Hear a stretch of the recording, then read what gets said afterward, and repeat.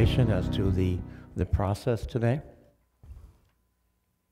We're going to have uh, Chris Mitchell, our executive director from First Service, will be reviewing the, the actual budget like, like last time. We will then open it to questions from our Finance Advisory Committee, and anyone from the, um, uh, the board can uh, jump in after the presentation is completed. And then at the very end, we'll open it up to uh, questions from the audience. Now, on your uh, responses to the budget, make sure that they're specific budget-orientated questions. And uh, try to keep your uh, concerns to uh, a time of uh, three minutes. So I'm going to go ahead and turn it over to Chris, and Chris, I think, is going to be introducing the, uh, uh, the members of our FACT committee. Welcome, everyone. And ladies and gentlemen who are live watching this at home, uh, we're going to try to continue having these meetings live when we have them. Uh, but I would like the FACT to introduce themselves. And Steve, can you start off first, please? Make sure your microphone's on.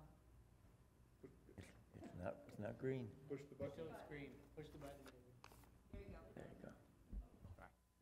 Yeah, good morning. Uh, I'm Steve Von Reich. I live on Copper Creek Drive. Good morning, Donald Day, Laguna Seca. complaints, we don't have to go. You know, Howard Katz. Gary Burkle, Laguna Seca. Uh, Gino DeMonico, Myrtle Beach, and on the uh, Financial Advisory Committee. Dory Gardsky, Spanish Trail Cove.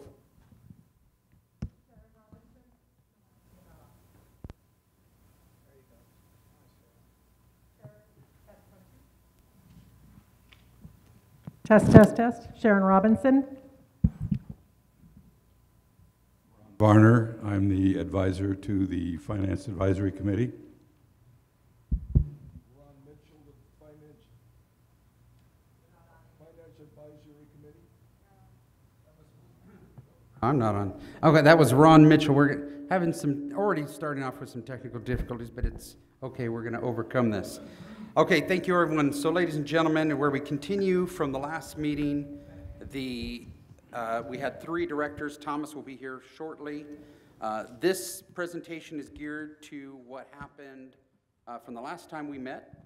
Then we'll have planning and compliance, uh, operations maintenance, and then food and beverage topics. So let's start with, come on. Boy, this is technical. Okay, so you might remember this, uh, this is just the change from, based on draft four of the annual budget for the cost or expense or department categories. Restaurant and lounge to golf operations. Uh, Right now, we have an increase um, planned in this iteration of the budget, budget four, of an increase uh, at $6.67, uh, an increase of 1.98% year over year. Again, this is an updated budget expense by category. So we see what the assessments, non-assessments, golf, bar, lounge, and for the income, I'm sorry, and then for the expenses, uh, one of our largest one, of course, is the labor component, salaries and benefits, followed by outside services? Bulk internet cable, and then, of course, our repair and replace contribution. Now, some of the biggest changes that happened uh, over uh, in draft four. Uh, We received responses from the RFP that was uh, released, and the board is negotiating uh, right now uh, to make a choice on the vendor. Uh, Community patrol contract in the budget, though, was reduced roughly about 116,000 from budget 2022 to budget 2023, based on the responses that we received. Uh, Credit card processing was also reduced uh, based on the association's um, uh, transition to a new credit card processor uh, that will reduce our credit card processing fees from an 8 to 9% to a 3, 3.3 to 3.5, I believe Jason said at the last meeting. Uh, First Service has offered not to take a management fee increase for 2023. Uh, First Service has maintained the, the same fee at the 2020 levels. So uh, the, this will be the third year that this uh, First Service has not uh, proposed an increase in the management fee. Uh, That, that effectively is a $16,937 decrease in budget for that line item. Uh, Also, there will be no increase in the payroll factor fee. Uh, That will still remain at that eight, roughly 8% uh, that's in the contract. The proposed golf rates, based on discussion we had at the last meeting with Brian, uh, changing some of the rates for the homeowners, guests, uh, and that will be, we'll be rolling that new worksheet out uh, for the golf rates. But with that change, that roughly 10,000 of additional golf revenue. Uh, Then, we also eliminated, uh, based on feedback, eliminated the movies under the stars from the recreation budget. Uh, That's a savings of $5,000. So, first now, we're going to go through our department. uh,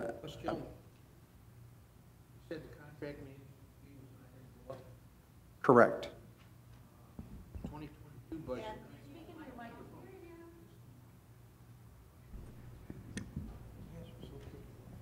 The 2022 budget was 328,000. Mm-hmm, And we've got uh, uh, 340,000 mm-hmm, in draft four. right. That's an increase of $12,000. Right. So the management fee component, remember, is the 15,000, roughly. Then, under, there is the processing for payroll, forty-five, $4,557 a month. There's also the communication fee. So some of those fees are still in there. And remember, the board approved the mailing increase, the cost of mailing because of the post office increase in stamps, et cetera. That increase is in there, but the base management fee is remaining the same. So there's several components that roll up into that management line item. Thank you. Okay, so as we did before, I'm going to just give a brief introduction to the department, give some highlights, and then I'm going to let that department leader uh, give you some in-depth what's happening in the department, and then I'll allow you some um, uh, questions for them. And then, so right now, we're starting with planning compliance. The biggest line items within uh, Ed budget is labor, um, the cost of supplies for the car, for um, paperwork, et cetera. Um, And so uh, recruitment, as you, a theme that uh, you've heard me through these budget meetings is that as we lose staff, uh, the cost of the new staff, the, the uh, prevailing wage, so to speak, that is right now in the market where everyone is looking for service level, qualified service level personnel, it's been a little difficult, and that has been driving up the starting wages to recruit new people. Uh, We've lost some people in Ed Tenisa's department, and we have recruited, but that is pushing those wages up. And so that is one of the largest changes that we've seen. And this is not a merit increase, this is not a, uh, just a cost of living increase. This is, we have to pay this new staff member this amount in order to get them into the door. Um, So with that, and some of the changes that we're seeing in insurance, workers' comp, year over year, uh, Ed department, uh, labor costs increased 15,856. Uh, She's been very frugal with her supplies and vehicle expense, and so there was a small reduction in that. And so her net increase in her department is 15,031. So Ed Tenisa, why don't you give us an update of what else is happening within the department? Good morning, everyone. So to be short, as some folks know that I can be long-winded, we will be maintaining the current staff levels for my department. So planning and compliance will remain myself as manager plus three staff members. And my three staff members are cross-trained with each other. So while I have a dedicated application specialist, he can assist with parking citations and general violations. My violation specialist can assist with applications and filling out items for the architectural committee. My parking specialist can help with general violations and with applications. So my department is cross-trained with each other to maximize our availability to the residents. Regarding the vehicles, so everyone has seen the little Chevrolet Sparks that we have, and they are hybrid vehicles. They are also end of life in that should a major item, major repair be required, at that time, we would be looking at replacing the vehicle outright. But for right now, for this year and next, as long as they're moving, we're going to move them. So you, you will see us use the Chevrolet Sparks as we drive around the community. Please don't throw eggs at us. That- that- that Once those eggs bake, it is hard to get off the paint. But uh, we are going to continue with the vehicles we have now. Um, COVID forced us to be very frugal on how we prepare and use our supplies, be it paper or otherwise. And we have continued moving that forward. So items that we used to outsource, um, such as our permit cards, such as our painting pamphlets, we now print those on demand in-house. So those initial savings, we continue to use forward. We will not be outsourcing those items again. Um, It just doesn't make the financial sense when we can make them on demand and adjust them on demand here within the, wi- within the administration office. But that's pretty much the long and short of my department's update. We're going to keep on keeping on, uh, doing the best we can with what we have. And we're going to continue driving those sparks un- until the sparks say we can't drive anymore.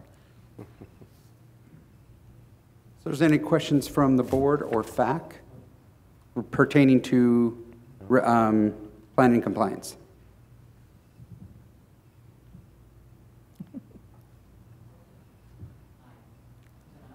Not No. yet.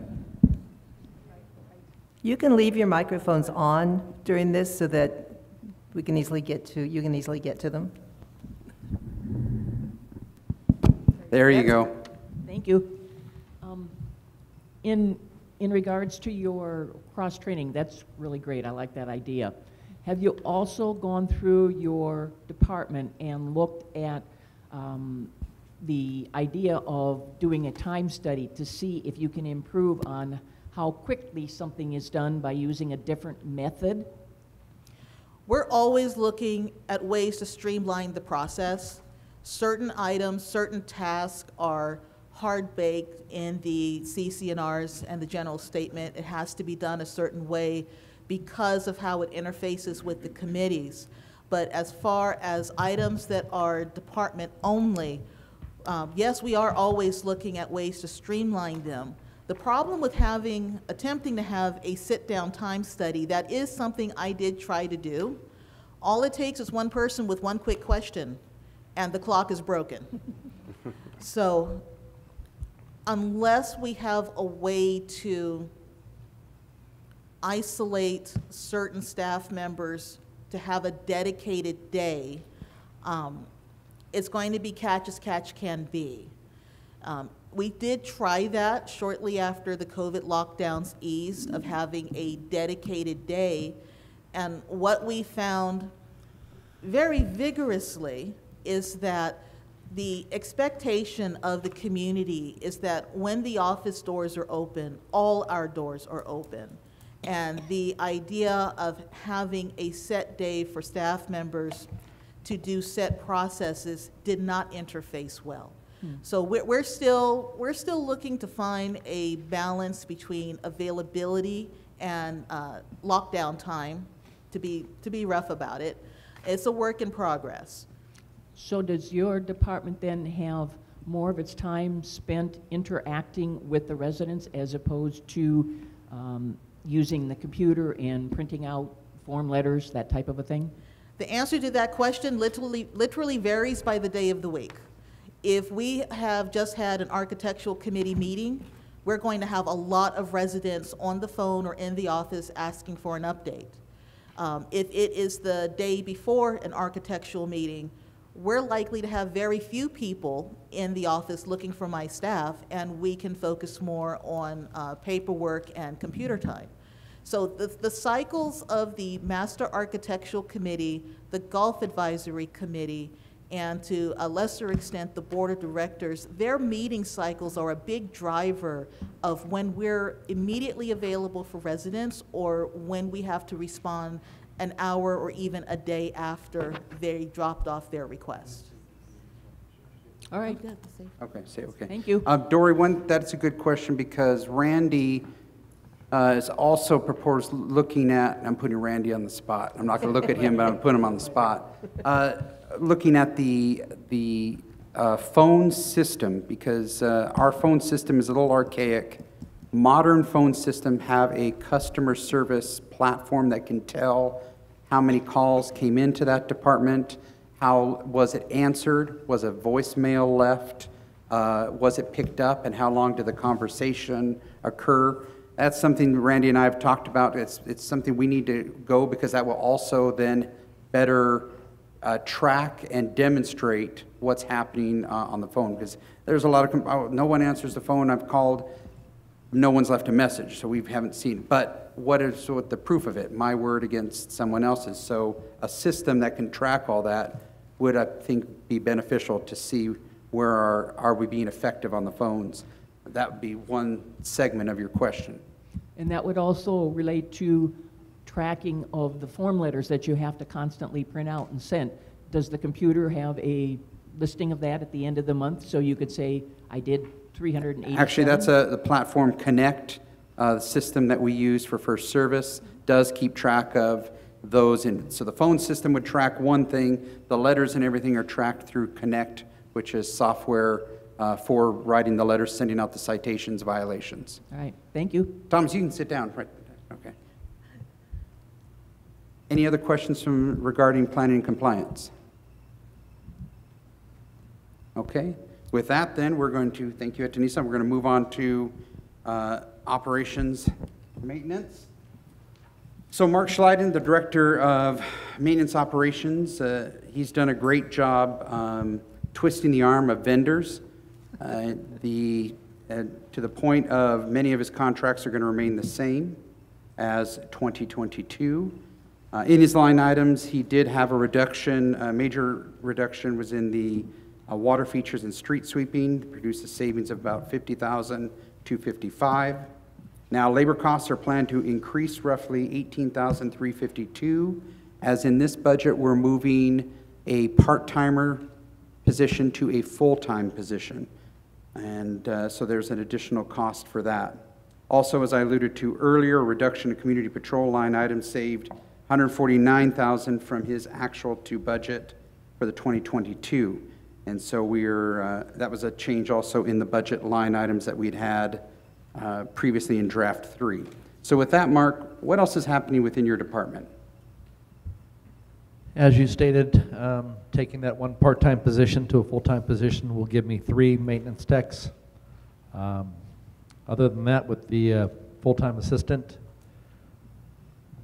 that's pretty much it. And as spelled out, the reduction in a couple of those items, but overall, um, as stated as well, holding these vendors to their current uh, cost from uh, past year. I think janitorial was the only one that went up, what, 4%? Um, Pool service, patrol, obviously, we reduced, and landscaping. um, The current schedule is at the same level. Of course, we'll be going out for an RFP um, within the next month, month and a half for that. Any questions?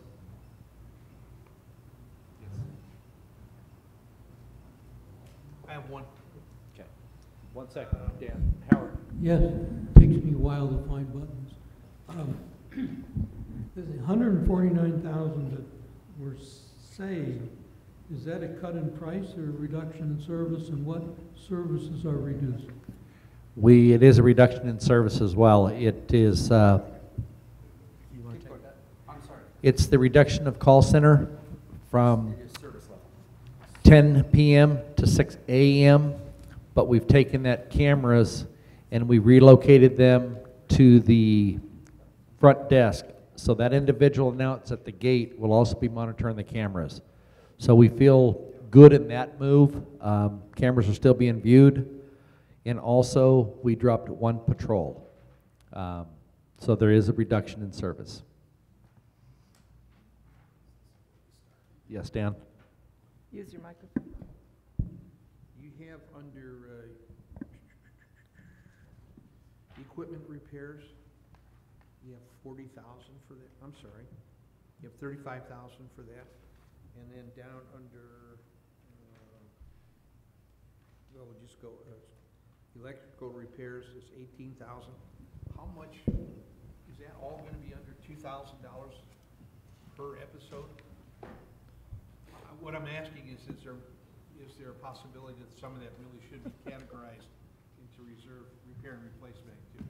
There might be, Dan. Uh, One thing that I've seen working with Mark is that there are many little things that are separate, so they add up that um, an electrician may come out and he's going to fix the breaker at the south clubhouse. Then he comes over and fixes an issue here. So you look at the invoice and you say, well, that's, uh, that's one vendor. But the, there are many, there are many little parts. And so some may be over 2,000, uh, but a lot of it is under that amount. There's just several things with this aging community, and Mark can probably talk more to that, is that we just have to fix and, and upkeep. Okay. Mark's Any had a other lot of fun with drains this year. uh, Yeah, I mean, in just the infrastructure of the community is, um, it's aging, so things are becoming more expensive. But uh, like I said, trying to do as much in-house and get the lowest price on the outsource. I've got another question. You said the protection. Please use your microphone. You're, we're filming this, I'm so we need the audience to hear. Thank you.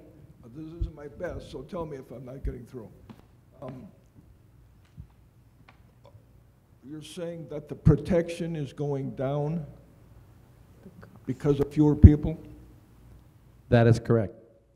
The Community Patrol contract that currently stands, the board is working with that vendor to, first of all, appoint the vendor, and then there is a reduction in some services to reduce that by hundred and forty-nine thousand, um, three forty-four.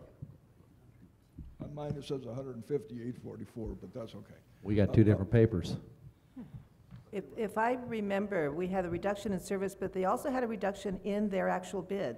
That is correct. Okay, Actually, they held the line on their bid. okay.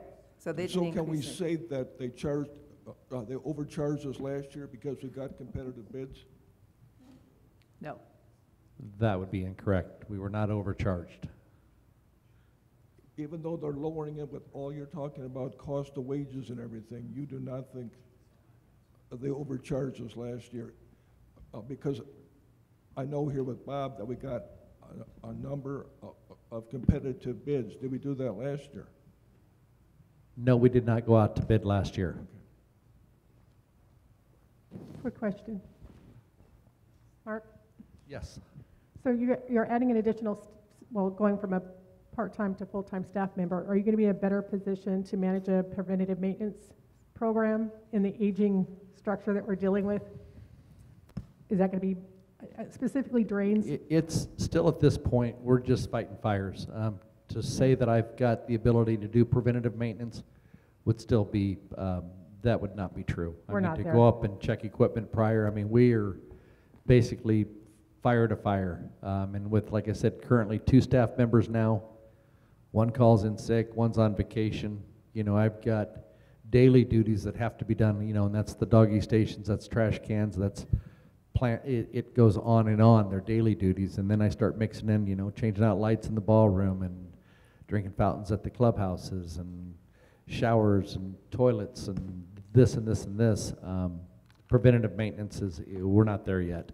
And, and I don't know that we would ever be, but we're just staying on top of things, um, for the most part. And, and these vendors too, some things are still a ways out. Um, you know, we've been waiting on this drinking fountain at the end of the hallway by rec. Um, you know, that, that's going on two and a half months and, and parts are still scarce. Um, vendors are still scrambling to get help. So things are still lagging behind, but seem to be catching up of some sort. Okay, thank you. Yeah, I, I would like to address the uh, street sweeping issue, and maybe you can elaborate after I, I comment. Is that earlier in the year, we had some complaints about the street sweeping. That basically they were just spreading mud all over and creating a mess rather than cleaning up our streets. So after we received those complaints, the board decided to uh, uh, temporarily halt that in, in June. I believe Quality Street Sweeping was who we contracted with. We stopped that in June for the rest of this year to see whether or not uh, uh, we could come up with another solution or whether we really even needed that service. The savings was, uh, the annual thing was twenty-eight four, so the savings was, uh, you know, four- fourteen thousand two hundred, you know, to us to eliminate that service. But since then, we've had some complaints about, uh, you know, there's been leaves in the gutter and, and some of the streets do need to be cleaned up in certain areas. So what uh, Mark has done, uh, I believe, and you can elaborate, is that we've assigned uh, uh, artistic maintenance to go to those areas. And if anyone has any specific complaints, please contact Mark so he can assign artistic maintenance to go clean that up now. Uh, In the future, we may actually set up a a schedule. Maybe you can elaborate how that's going to work. Okay, I spoke with, um, Bob and I have discussed this a, a number of times. Um, this morning I reached out to Artistic Maintenance. Their mow schedule in the winter months is every two weeks. The grow rate obviously slows down. So I reached out to Artistic for no additional cost. If I could get two of their hands uh, for 16 hours a week, with my additional full-time position, if that is approved and goes forward, we would be able to put three, we would have 24 hours a week on the gutters. The problem with quality sweeping that we had was that once they reduced the water usage, we were just spreading mud. Um, it did, you know, when in dry locations, it was fine, but where we had current water standing, um, they created a bigger mess than they actually cleaned. Um, so that was board decision. We reduced that. Um, with artistic going forward, um, we'll be able to receive the calls, and, and we, we see the, the areas that it's most impacted. And, you know, last week I was on Glen Eagles, um, doing some cleanup over there in the gutter. Country Club right now is an absolute mess.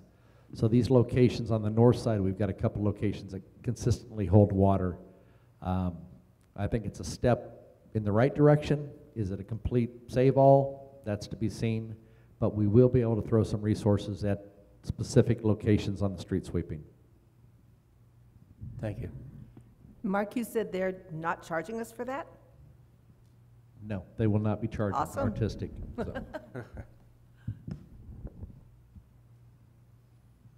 Yes, Howard, So, Mark, are you in charge of utilities also? I am not. Okay. Who is? That was under the administration piece of it. Right. That was last week's, or last meeting's item. So landscaping falls under your domain, correct? Landscaping does, Howard. Okay. I have a question on landscaping portion. We can't hear you, Howard. How about that? There you go. I have a question on landscaping on page five. Um, The whole landscaping budget seems to be five hundred thousand dollars. Uh, Yet it's added in twice that expense by taking a portion of the golf course maintenance and moving it to landscaping. So the question then is, the greenbelt allocation, which is a million one fifty-six, uh, is thirty-four point fifty-four plus percentage of the total golf course maintenance. Is thirty-four point fifty-four percent, just throw it against the wall and, and, and pick a number? Or is this a realistic number? And should that really fall under the golf course instead of landscaping, since it's two and a half times the landscaping budget is taking golf course maintenance and sliding it across. And it seems to skew the real cost of golf course maintenance. Please address that. So that's, that is one perspective that it could be skewing the numbers. The study was done, I think Jack Sidwell was on the board many years ago, before you and I were here, Howard, and uh, the board did an analysis of areas surrounding the golf course that would be considered shared or a common area not related to the golf course. And that's where the number, that percentage was arrived at of how much of the golf courses relates to common area that somebody has a bench, somebody can sit there, enjoy some green space, and not interfere with golf. And so that's how the percentage came up. Uh, The allocation then was built uh, to, to allocate a portion of those areas, though that golf course maintenance maintains, relates to common area. And areas that both Mark Schleiden and Mark Birchfield need to keep an eye on because that is the area, again, benches, people walking, their dogs walking uh, with themselves, biking, that uh, have a sit down on the grass. That was determined many years ago that that represented a common area like a park and should therefore be um, recorded under uh, the landscape piece in the HOA's budget. That's the methodology of how it was arrived at and their purpose for it. Okay, but accepting that, the things that you said, areas where people can walk their dogs, sit down on the grass, et cetera, et cetera, uh, can that actually happen? Can people actually be on those areas and? So I'll give you an example. Right near gate three, as you drive in, there's some benches between hole two and three. That, those are areas for sitting and everything that can be used for, um, uh, you know, a common area. Um, hole nine, as you're uh, crossing over, uh, there's a bench there. So there are areas that are under the maintenance purview of golf course maintenance that are shared with common area that people can use that are not golfing. Okay. There are many areas that make up this green belt thing. Mm-hmm. And is there any way to figure out what those areas are so that they can be used by other than golfers? I mean, we can go back and pull the, the maps from the original designation, but you're, you're, you can look at it where there's benches and everything on the golf course area. Those are the areas that are considered in that greenbelt allocation. Okay, except from where I reside, those are pretty far away. So is there anything I would suggest closer to where some other folks live that uh, are usable? So maybe a map would be beneficial if you could forward that to me sometime. Thank you.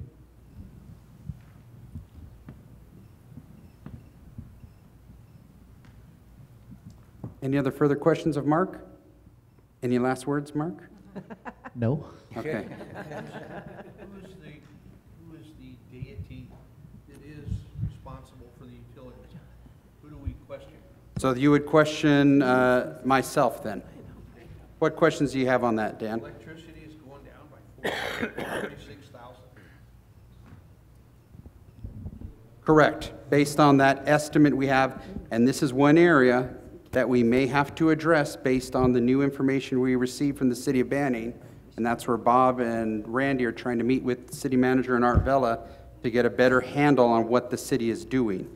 Uh, But, you know, it, we had budgeted 417, we were coming in at the, now I'm going to use Sharon's metric of the annualized at uh, 350,000, and that's where there was a, a a reduction in the budget year over year from 417 to 371 to be in line where, where we think next year will be.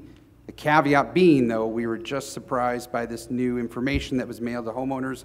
I mentioned the last board meeting, and we need to get a better hold of what the city is doing. So that may change. Yeah, the gas category, is that, Now, the gas, uh, that uh, has to go up. We've uh, actually seen an increase in those rates, and so we are going to have to increase, that's a 13,000 year over year in natural gas. who uses that gas? That's going to be the buildings, the kitchen, uh, all common area buildings for heat, uh, admin building, um, clubhouses are going to use that as well. Uh, I think the pool, yeah, the pools are in there as well. Um, So that is the natural gas for the common area. Um, I think golf course just has it for their building back in there under golf course. But this will be the rest of the common area. Okay, is, I don't remember if uh, maintenance has a, golf course maintenance has a line in there for the gas for the vehicles. Is that where the gas for planning and compliance would also be? Yes, it would be under there as well, because they would fill up over there. Okay.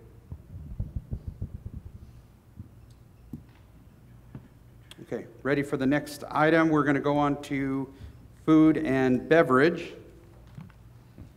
Um, So combined budget increase, this is for uh, restaurant and lounge. Combined uh, budget increase is expected to be 84,487. Now, the combined revenue is expected to increase by 202,000 roughly.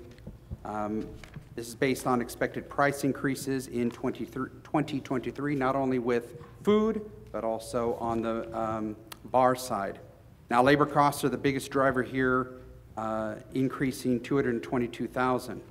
Um, Again, we've seen here the market for cooks uh, has really pushed up some of these, uh, the wages. Um, You know, one thing, I'll use Sharon's uh, discussion, is uh, the majority of time when we do a budget for a uh, restaurant, we use the percentages. Uh, In here, we have budgeted for the year a worst-case scenario of 100% of people are working on the weekly hours, and that's how we arrive at that budget. So there is a little different. The normal methodology for a restaurant would be you got to hit the target based on the revenue.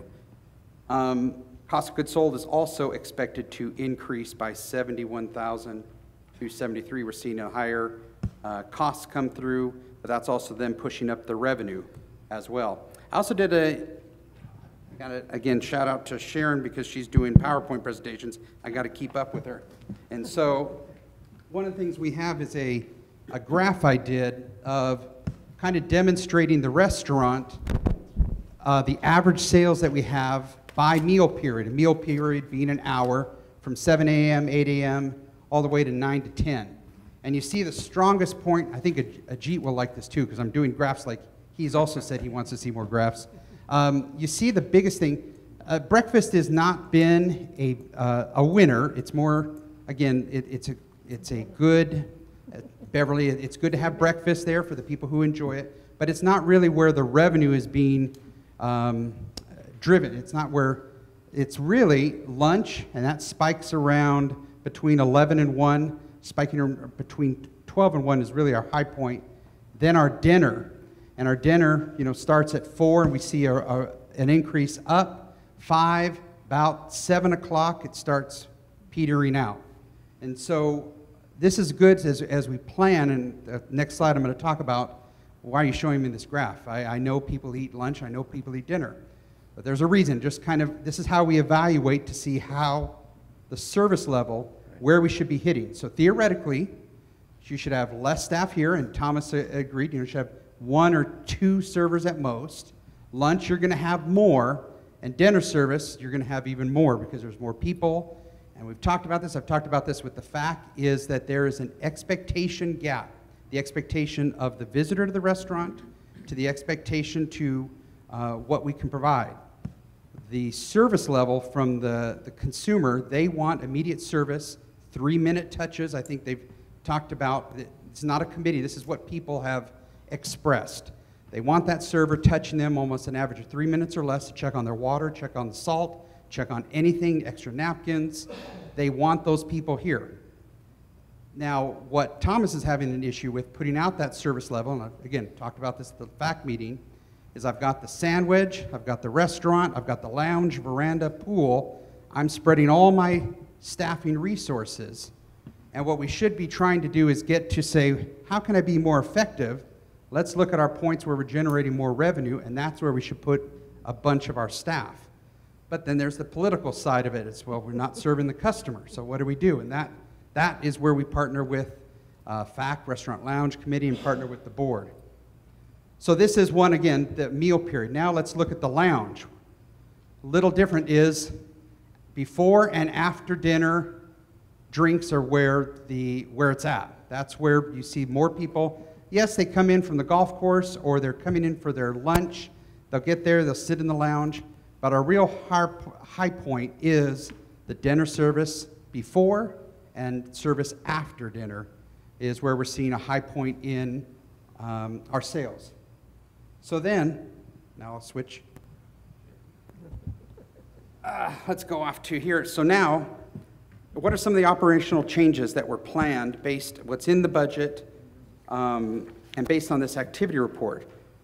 We're going to recommend that the sandwich stay open from 8 to 11. As you, um, I can run a separate graph for the sandwich. Before, set, before 8 o'clock, three people, five people. Maria's there just talking to herself often because there's no one there in the restaurant. From 8 to 11 is where we see our, our, more, our usage. And we feel that, and the proposal we're going to have is that the sandwich be open only from 8 to 11. Then lunch should be concentrated on the restaurant. What we've done is we have the sandwich open for lunch, restaurant open for lunch. You're spreading the people, and now you're putting more staff in these multiple areas. Revenue generation's not there because you should only have it consolidated, the people here, so I can serve them with less staff. But I'm, am now spreading more staff there for less customer. Equation doesn't work. And so, what if we did this proposal, the sandwich from 8 to 11, then concentrate lunch in the restaurant, this frees up the sandwich for private events after 11:30. This is your golf lunches. That would be the key area uh, that you would be able to say, "Hey, come in, wear spikes because the floor can handle it." Uh, after your tournament, we hold up to 60 people. Also, for private events that are non-golf related, maybe there's a, a club, a birthday, a, a, a, a Greek dancing preparation class, um, you know, that would free up the sandwich. Again, one of the other things I've talked about the fact is where's my money, where can I make the most money in my bar and banquets? So let's start targeting for how we can free up some areas for banquets. Uh, dinner would remain 4:30 to 8, and you've seen based on the point of sale system, the, the data we have is that after 7 o'clock, the dinner service people migrate toward the lounge after dinner drinks. Lounge and banquets should be the focus for 2023. These have the potential to generate uh, additional revenue to offset losses from the restaurant. And then the key thing here that we need to do in this environment that every um, business is doing is adapting to market costs very quickly. So many menus will need to change, pricing needs to change more frequently, uh, unfortunately, to keep up with what's happening. I, I remember talking to Chef Noy and then with Chef Chris. It's great. When I put in the order into Sysco, it said it was this price. I get the, the notification that, I'm sorry, that item isn't available anymore, and the price has increased for this new product, and we're, we're getting surprised. So that's a, an issue where we're going to have to be um, able to adapt to these rising costs. And so, with that, some of the plans that we have, I wanted to allow Thomas to give you a boots on the ground perspective of what he sees, and then I'll open it up for questions. So, Thomas, go ahead. Good afternoon, and good morning, I should say. Thank you. Um, You know, it's the goal to continue to push the restaurant forward, and, you know, things are changing, you know, it- things aren't like they used to be. I see the demographics changing, I see the, um, just the, the, I see the business really geared more towards the evenings. Um, Of course, you know, we're full service, and the goal is to open everything. We've worked very hard in order to open the facilities based on our staff um, all the way, you know, I mean, as much as we can. Uh, Yes, we're not open for lunch yet on Tuesdays, but the sandwich is open versus, you know, we're doing bingo buffets, we're doing now the Mexican extravaganza buffet Tuesday nights. Uh, we're doing everything that we can to generate, to bring more people in the restaurants, in the lounge, entertainment, whatever we can do. You know, I, you know, we are challenged severely, and I know a lot of you don't know that, but we are still challenged with staffing. We're challenged with, um, uh, you know, people calling off. Uh, there's days where I can't do my job because I'm on the line doing somebody else's job because there's nobody to replace that person. So, um, and that takes away. That takes away. Sometimes people say, God, we haven't seen you so long, you know? And I said, well, and I have to explain to them that unfortunately, I'm in the kitchen most of the time. and I'm filling in where I need to in order to keep the ball rolling. Um, but it is our goal. I do see things changing. I do handle all the banquets, and thankfully, there is an influx in banquets. And this is what we do want. We want more of those. We want more banquets. We want, um, we really want to gear, you know, our, uh, our- bar and lounge, the expansion, whatever we can do, because that's where I see the, I see the entertainment and I see the influx of people. Um, we have a lot of working people here now, and uh, they don't come out until after they get home from work. And this is why we see the change, I think, in the breakfast lunch business, as it wasn't like that five years ago. So there are changes, and we have to kind of roll with the punches. But we'll continue to persevere and do the very best that we can. We're blessed. We have a wonderful F&B committee that works with us side by side and helps us immensely and gives us ideas and is doing their best so we can get to where we need to be. Um, when I came here, and I've been here almost a year already, believe it or not, um, this month, um, you know, I came to, it was like opening, reopening a new restaurant.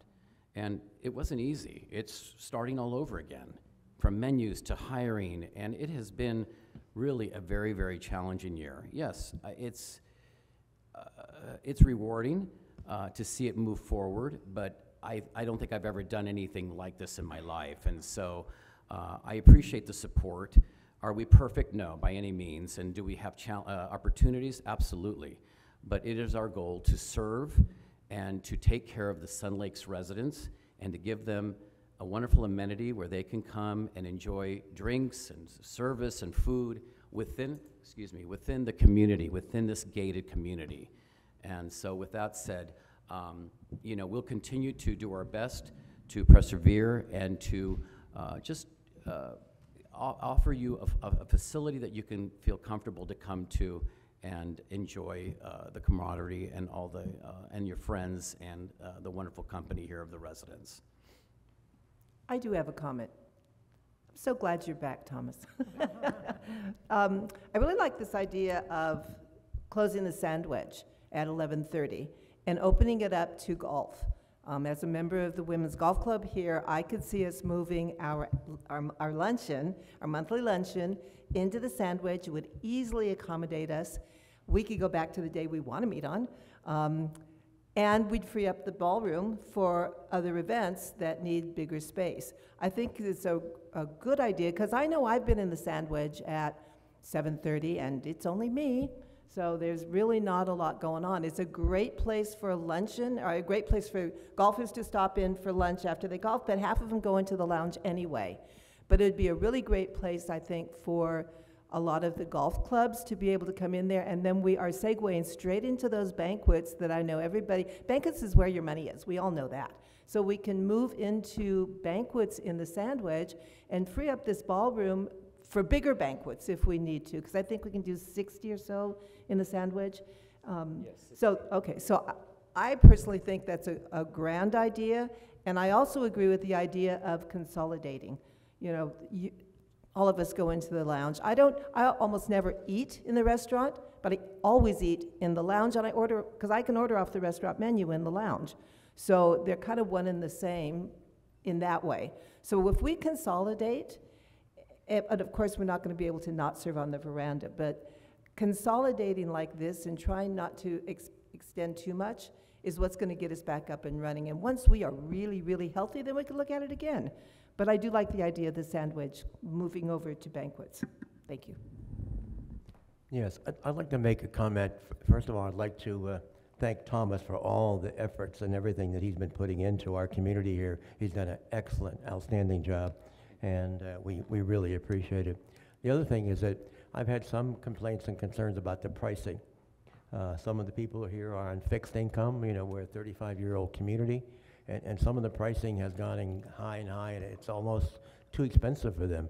We may need to, uh, when you talk about adapt to the cost, we must also adapt to our clients here, you know, our residents, and, and maybe have some half orders or half salads or something that uh, is still affordable for them, uh, you know, instead of a $15 lunch, uh, you know, that, that's, that's all. Maybe small, small plates or something Yes, like that? small plates uh, would, would be, would be helpful, huh? The way we could cut our costs too is just shorten that menu. Don't offer as much. Then we're, then we, you know. You're exactly right, I'm sorry, I didn't mean to cut you off, but that is one thing we have talked with, uh, when Jason and I meet with the food and beverage uh, team, Chef Chris, uh, Thomas and Joseph, uh, that is one area that if things get out of hand on cost, where I can't meet my percentage, that has to just drop off.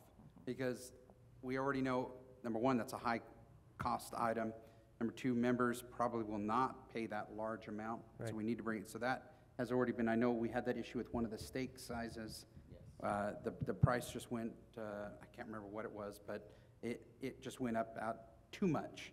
And that was the cost from Sysco, the cost from Crown Meats, eh, they had gone up. So in that case, we will be pulling those things off because it, it's just out of reach for the clientele. Right, thank you. Yeah, thank you. I have a couple of questions. I think Mr. Katz has his hand up. Thank you. Uh, I think changing the sandwich is a great idea, but I've got three questions. Uh, Are you considering refurbishing the sandwich to do this? Because when you're talking about banquets or other private affairs in there, it's a little informal for some of the banquets, and you may want to either get rid of the bar that's in there, carpet it, change the furniture. You may want to give that serious consideration because some people may not want to go in there for a banquet. It's something that is so informal. Can I answer, uh, can I, can we answer as you give the one question? Can I answer that question? Sure, go ahead. So I want to make sure I'm playing by the rules, Bob. The, I, there's not a plan to refurbish it. Now, again, it, it's geared toward people coming off the golf course, so the flooring is ideal in that case for, for them. Right. The, if we wanted to change the, the, the, the chairs, we have the ability to put linens on the tables and chair covers to modify it, to give it that, you know, uh, a better look or a different color. So without changing the chairs, the furniture, there are ways we can utilize covers uh, on the chairs, on the tables, to, to get the effect of a little upscale without doing a, a remodel. Also, Mr. Katz, um, just so, I'm not sure if you're aware, but I do use the sandwich even right now for events for dinner right now. I have four different districts that meet once a month and have dinner parties in there with their districts. So I'm doing 30, 40, 50 people at a time. I do the welcome home events in there. There are events, people are booking little small parties in there. And again, does it have the atmosphere? Well, maybe not for the banquet, but when we do dress it up and put linens and fix it up and dim the lighting a bit, you know, people are, seem to be happy with it. I don't have an issue, but I do use the room in the evenings. I'm doing whatever I can to utilize that empty space. Okay, but if you realize my question was, have you given any thought to it? So I can see you've given some thought to it. We have given some thought to it, but I, I, I don't think we, we want to go down that road. Okay. Next, um, Tuesdays. Um, Sandwich is open Tuesdays for lunch, and that's the only luncheon available out of any of the restaurant facilities. Mhm. If you do this, are you going to continue to have Tuesday lunch in the sandwich for everybody? Or are you gonna discontinue that and then discontinue Tuesday No, lunch here? I, I think we still plan to keep the sandwich for the breakfast and the lunch, right? We do, for now, until I can get the restaurant open. Once the restaurant's open, then we'll roll, we'll do the same thing as we discussed, closing at eleven and then opening the restaurant. Uh, We're not far from that. Again, it's just, it's the staffing that I, that I'm, need to get in place. Aaron, I think the, the target is that we wanted to get back to that seven days, um, or, or at least the six. We wanted one day that we could um, address the restaurant, a, a day of closure so that we can address any cleaning or anything. Uh, and that would appear Monday. Monday can be the Monday Night Football with the lounge. Uh, and Monday could even be a breakfast option. But we like Monday being able to address carpet, paint chips that are falling off the side and just general maintenance and not disturbing the other days that we have regular service. And so, uh, right now Tuesday, but I think Monday, we're, we're trying to keep Monday as a, a maintenance day for that restaurant, uh, if possible. Thank you. Now, you had a third question. I know, but I'll pass on that for the time. Um, Yeah, I've, I've got a question in regards to, um, you make reference to POS data up there. Is the POS data available to the restaurant financial advisory committees? Yes, it is, and actually Sharon has put in a request for the Restaurant and Lounge Committee to get some of those reports. And so we will be providing that, and I talked to Ron in the past and also Sharon as a FAC member, that the FAC will get those copies as well. And what other committee, Sharon? I'm sorry? The What other committee? It was Restaurant Lounge and, okay. I just want to say, I, I know, Chris, you and I have spoken about this, and for people who manage a business, looking at it more from a business perspective uh, versus, you know, the Sun Lakes Country Club, there, you have to approach it, where is the customer base, and serve the customer at that time. When labor is such an issue, redu- reducing the hours where you're impacting the most number of customers makes the most sense. Chris, I applaud you because this is exactly what you and I were talking about. This is what needs to happen to be financially responsible with the hours and labor that we have available to us. And I know it's challenging, and I know some may not like change. They, they like to go in at 1 o'clock in the sandwich for lunch, but you can still enjoy that same wonderful lunch in the restaurant. The And we just have to be smart with the labor that's available. Right.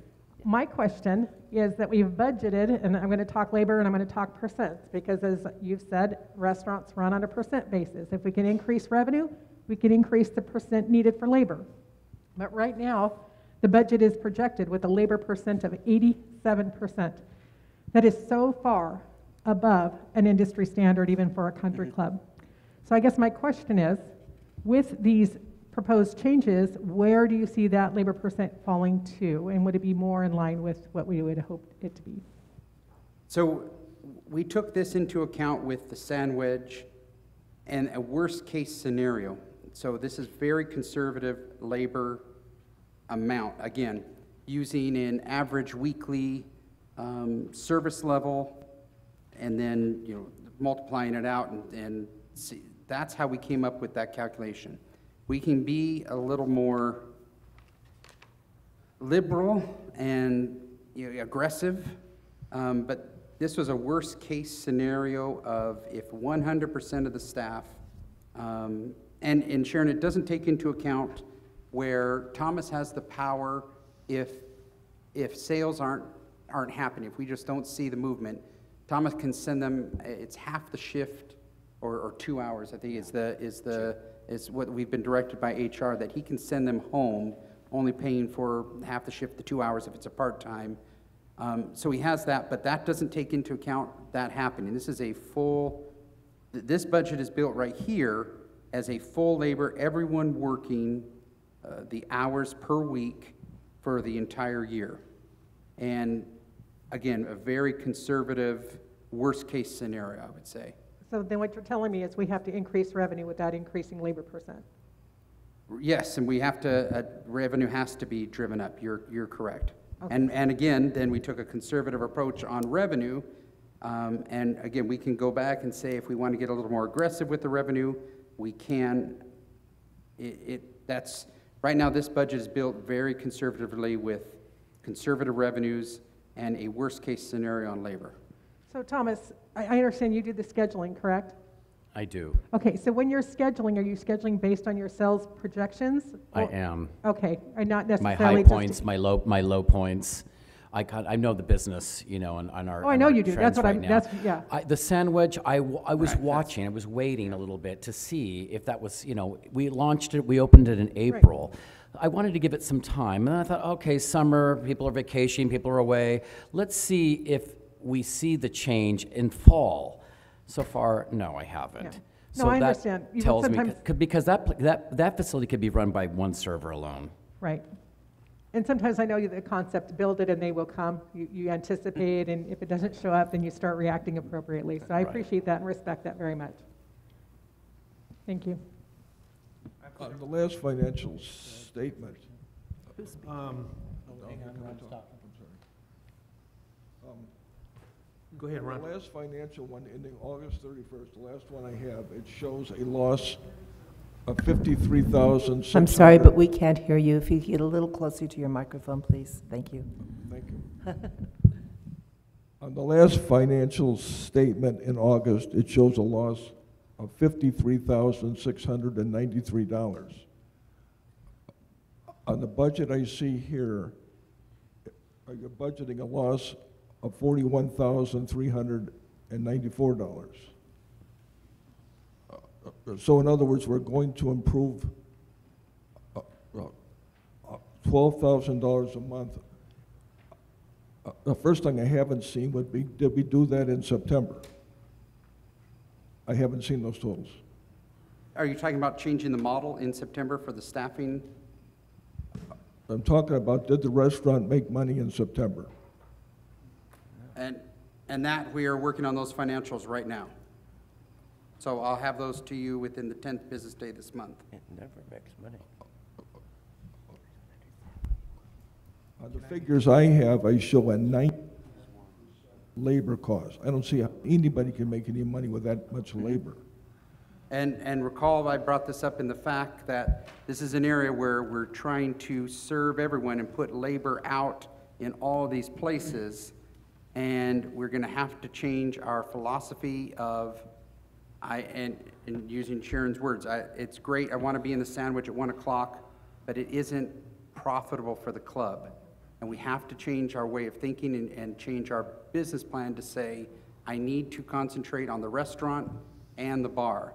And that's what Thomas just said, is that something we are looking now, if, if the board approves, we can implement this sooner this year, and then it will already be tied into the budget. But we, we are trying to be everything for everybody, and it just doesn't work, because all it does is it incurs costs, incurs costs, that was somebody fainting. Gee, what did you do? No. Um, But uh, it incurs costs, but doesn't generate the significant income that we need. And so this is where we have to go back, change our business plan, and the model that I put out for you on, of changing the sandwich is the first step in that. Also talked about banquets, and there needs to be sometimes a thought of, should we allow some outside banquets? We've done it in the past with City of Banning, um, the uh, chamber event, uh, the hospital. Should we do more? And how do we balance that with the needs of the members versus needs of the corporation for additional income? And that, that is a, a political piece as well. I, I think right now we, we just have to change the model of, and, uh, and straightforward honest, we cannot be everything to everyone. That has failed, and we continue to go back to that well, thinking it's going to change, and it's not. We're going to have to get lean. We're going to have to focus on our points that do generate. I've said it in the FAC meeting as well. The bar and banquets are the areas we should be focusing heavily on and supporting, and adapt to that. That, that's where we need to go. Then, Chris, are we losing money on breakfast? We are losing money at breakfast, and that's, that's where uh, Thomas has talked about one, uh, switching to one person only. Um, we, we lose it, and, and Ron, I look at it more of, of the area, not just breakfast, because I staff that area into lunch, and, you know, I, I mean, so I may make money at the beginning, and then the revenues decline, but my cost is still up here. And so I go up, and then I head down, and I lose money. So I would say, rather than breakfast, I lose money in the sandwich component right now. Modifying it to an 8 to 11:30, one staff member, that should, should get it, because the, breakfast is also the cheapest, it, it's the lowest price, because it, it, there's a lower cost, it just, um, you're, you're gonna break even, you might make some money, um, but I think limiting it to eight to eleven thirty helps, and then push everyone into the restaurant.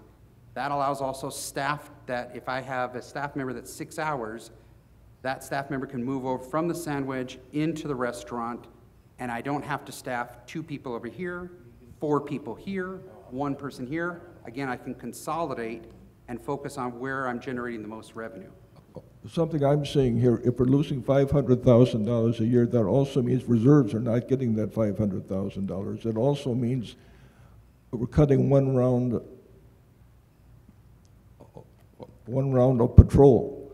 Uh, the- These seem really very difficult choices, and I think on the times I've been on the committee, uh, this thing loses money every month. Eighty thousand dollars last in August.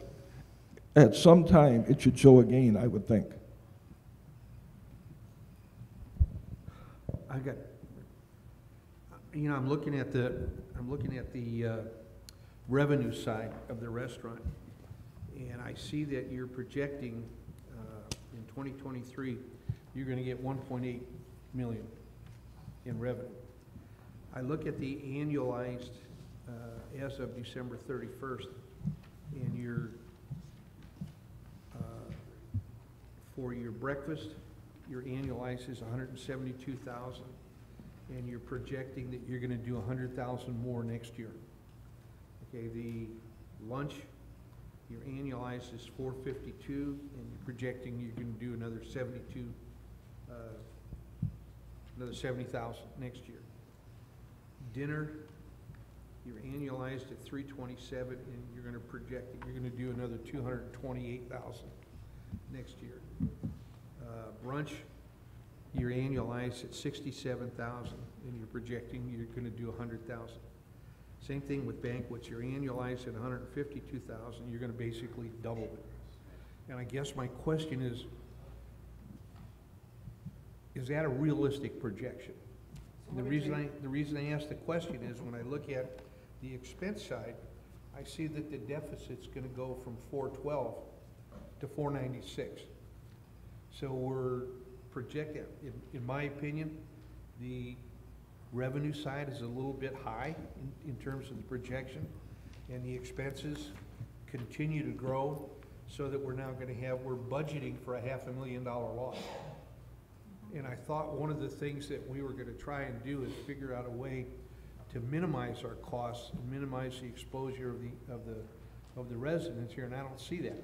We're, what we're doing is say, okay, we're gonna get more, we're gonna sell more food, uh, that are somewhat, in my opinion, unrealistic projections, and our expenses are gonna go up, the labor is increase hundred and sixty-eight thousand, because we need to have these people so that nobody will poach them, and yet we're gonna, we're gonna increase our deficit by eighty thousand dollars in the year. So I, I guess what the question is, is do you really and truly have, uh, hard data to back up those proje- projections? So remember, the fallacy of annualizing is if something didn't happen in a first quarter, or second quarter, it's gonna throw off the, the projections. Uh, breakfast wasn't started until May? When did we start? Uh, so you've already lost some of your banquets, the same thing. So what we actually had to do is go back to 2018, when there was solid statistics. We weren't, we were open, we weren't closed because of renovations, we weren't closed because of COVID. So the best year to go back to was 2018. How much And did we lose that year? I'd have to go and pull that, I don't, You- You I'd- went back to twenty eighteen for the revenue number. I did. Where's the expense numbers?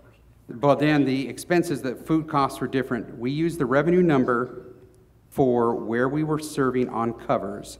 Then there's an increase in cost because items that were, you know, eight eighty-eight in twenty eighteen are not going to be that price. And so that takes into account price change as well as getting back to service level where we were in the prior year. The expense side of it is you're looking at real food and beverage worst-case scenario. Again, we can get, if the board says get more aggressive with that, we can, we can, we can do that. There's just the concern is, then we have to follow up with a plan and implement a plan that I'm not gonna be everything to everyone, that I've gotta be targeted, not only on the staff, but that also will then go into the cost of food. It will also go into some of the supplies as well, because I'm targeted, I'm not trying to be everywhere at all times. And so I, again, conservative revenue based on a 2018 level. Expenses are built on a 2022, 2023 level based on where we're seeing right now. And so I, I don't think we have to go back to 2018 expenses and see what was the labor cost there, because it, it's changed. Uh, we can use today's pricing for the plastics, the, um, the, the supplies that are the non-cost of goods sold, and then we can use today's prices for cost of goods sold. But the revenue side of looking at what was I hitting on covers during that time of 2018 when everything was going great, I believe you can rely on that as data of where we were at one time and we were successful. Let's move forward with that same methodology of using those covers. You're, you're asking us to realistically rely on the data here that's gonna require almost a million dollar turnaround in what we're doing, uh, in the meal categories. Right now, we're supposed to lose about, uh, five hundred thousand dollars, okay? The difference between that and what you're projecting for twenty twenty-three is a million two. And you expect us to believe that that's a realistic, you're gonna be able to do a million two turnaround? That is the expectation in the budget. The board can, and along with the recommendations from the FAC, if we want to pull those numbers down, we can. Chris, if I can ask you a question, when you are looking, when you go back to 2018, and you talk about looking at the revenue, are you talking about looking at the money or the covers?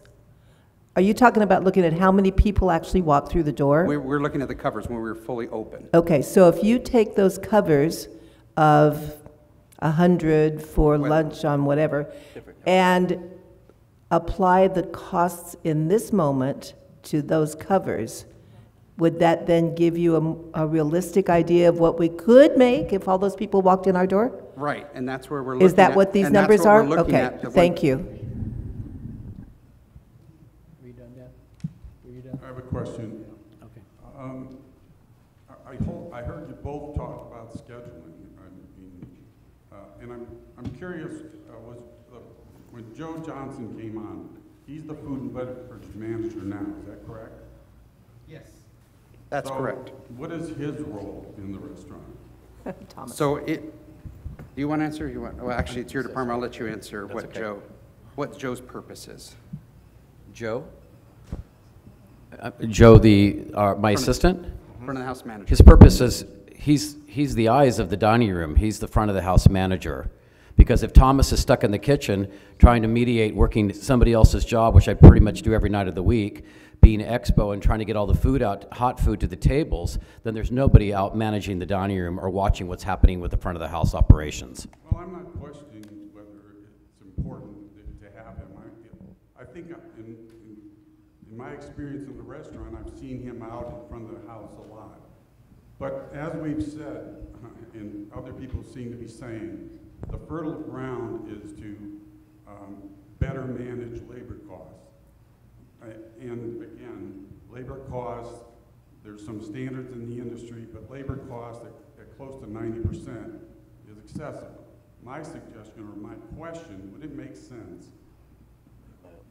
And I'm confused by, you know, uh, Chris talked about managing the schedule, you talked about managing the schedule, and now we have a new food and beverage manager. I don't know how many people you can have working on the schedule, but my suggestion or question, would it make sense to provide some incentive to Joe, for example, to better manage the labor cost? Because the labor cost is the fertile ground. You're projecting a a million eight in revenue. You cut labor costs by ten percent, that's hundred and I believe that seventy percent is even an, a, high labor percentage for a restaurant. Sir, we can, we can cut back on labor costs, but that's also gonna cut back on service. So people will have to, people will have to wait a little bit longer, and people will have to understand that if there's not an extra server on the floor, they're gonna have to wait for service. Well, I think the community understands that the restaurant is losing money, and it's a concern. So, I- and I agree with you, you can't have it both ways. Right. But what I'm saying is, maybe it makes sense to have Joe, who's new, is that a new position, or was he, did he replace somebody? No, we, re- we've had that position, that, that position replaced Shannon, who was here before. Okay. Well, he seems to be the person with the feet on the ground. And I, it would make sense to me to offer him some incentive to la, uh, manage labor costs, to bring the labor costs down, and give him some incentive to do that. Sharon? I mean, that would be a decision of the may. board to, if they wanted to go that. We typically haven't done that. But again, the board would have to. If, if I may, um, having managed multiple restaurants, It was really simple. It wasn't so much an incentive. It was, here's your labor budget, make it work. It's just that simple. I understand, Thomas, totally, that you have an expectation that's set by this board or by this community, and I think that's what needs to be managed. One, we all have to understand as a community, we're in this together. Mm-hmm. And we're all talking about late managing controllables. Let's talk about increasing revenue. Let's talk about people coming out, supporting this amenity, and supporting the community by coming to the restaurant, coming to the lounge, hit the pool when it's open, hit, hit the veranda, come to the events. I think, Thomas, you've done a great job trying to manage labor with buffet events because you require less labor when you have buffet events. You have two a week now, which I think is fabulous. So I think you're trying really hard, and I appreciate it. And I know the Restaurant Lounge Committee is supporting of you in what you're doing. But I think, again, I'm just going to keep shouting it, and you're going to hear it when I do different videos or whatnot. People, we need to support our own community. Let's focus more on increasing the revenue so that the labor percent won't be an issue. And if I can just tag on to that a little bit, um, that's part of the reason I think that we're looking at consolidating, because consolidating is going to allow us to be much more effective with less labor. We're going to be able to provide the service that people want in the lounge, in the restaurant, when we don't have the sandwich open to take people away, when we don't have a server trying to run to and fro from the pool. So we can really focus in with that condensation that you guys are talking about doing. And I really think that's a good idea because we, people want to come in and they don't want to wait. They want to come in, they want to be acknowledged, they want to be served, and then they're happy and they keep coming back. So it's that continual role of it, and I'm, I'm with you. Come in, we're all in this together. I'll buy you a drink the next time I see you in the lounge. Only one of you, though. I have. A question, uh, just kind of tag, tagging on to what Dan was saying, and comments relative to sales. Uh, I've done quite a bit of uh, trending analysis and looking at sales in particular, as well as some of the other key characteristics for the lounge and the restaurant since 2019. Um, This may come across as a negative initially, but it's really not. If we look at uh, 2022 budget to actual, uh, Thomas has done a great job of resurrecting the restaurant and the lounge from the COVID death. Uh, He's done a great job of that. But if we go back and look at trends, the restaurant has only made their sales budget uh, once this month, uh, actually, the lounge made it once this month and uh, once in 2019. The restaurant has not made the sales budget at all in 2000, uh, 2022, and it never made the sales budget in 2019. So to increase the sales budget without a plan on trying to do that, I think is uh, unrealistic as far as sales go. And if we don't have the sales, we're obviously going to have the same problem with uh, high la- higher labor costs than anticipated if we staff for a fully uh, operational sales budget. The thing that uh, I, I see missing is that in attending the restaurant uh, and, communications and marketing committee meetings, uh, there is a fair degree of frustration that they're not involved enough where they can make uh, do any help to get people into the restaurant. As an example, we did Taco Tuesday and Taco Thursday, and there was absolutely nothing in the prior month's uh, lifestyles. And uh, the Facebook page, we have seven, only have 1,700 people out of 5,000 people online looking at the Facebook page. There was no advertising for that as well. Uh, We're now coming up with a new activity for uh, Saturday in November, first, first week in November for the uh, Greek night. And I don't see any advertising other than the, the 1,700 participants looking at the uh, Facebook page. So what seems to me is that we have an opportunity here to really crank up the sales in this place, which it, it applies to golf too. Golf at our last meeting had ideas of things that they were, going to do uh, for non-golfers, but that's not communicated. So I think that what we really need is a written policy and procedure manual addressing marketing. And what that could address is how are we going to communicate with all of these great committees? We have a great uh, marketing and communication. We have a great uh, restaurant advisory committee, but we're not really utilizing them the way we could. Uh, If we had a written procedure and policy, we would know who's going to communicate what to each of, each other, uh, what we're going to communicate as far as activities, when we're going to do it, and where we're going to share that information so that all the residents in this community get to know what's going on, not just the 1,700 on the uh, Facebook page. And we also have two Facebook pages that we could take advantage of. You know, Bob Murray and the team have done an outstanding job of getting us electronically communicating to one another, but we still don't have the whole residents participating in that. So Thomas can come up with the best menu in the world, which I think he's doing a great job of. Um, we need to look at possibly the pricing of the menu for those that aren't coming and share with the people that aren't coming what the heck's going on because we're not doing that and it's a great opportunity. So I don't know, Chris, do you, you think a written procedure, policy to ex- expand uh, how we're going to do marketing and what we're going to market and when we're going to market it is an idea? Well, I think the committee would have to work on that with the direction from the board. Because the committee works for the board, so the, Well, the, the committee is only an advisory committee. You've got a management company managing this facility. You also have management people that work for you in the restaurant. You know, I, I know that the committees are anxious to get information and to help that. Um, I had a conversation at the last restaurant advisory committee meeting, and, uh, I could sense the frustration, because I said, hey, we gotta get this thing going, and they said, well, we're trying, man, but we, we didn't know anything about Taco Tuesday or uh, Italian Thursday, so there was nothing mentioned in uh, the restaurant's advisory uh, article in the magazine, and there was nothing on the Facebook page because nobody knew in enough detail what was actually going to happen. So um, I would say you guys need to take the lead. You're the management uh, of this whole operation, and I know the advisory committees are there to help you, and they will help you. I know it, as long as we get together and come up with a plan. We don't have a plan right now. Yeah, D- Dan makes some, um, some good points, and um, we appreciate uh, the comments. I think other board members wanted to uh, also comment. Just- Randy? Yeah, just quickly, um, I ran, I ran a bunch of numbers over the weekend, and I, I, I like to look at the whole food and beverage as, as one entity. Rather, I, I know there's basically three entities, but I like to look at it as one. That's what I've always done.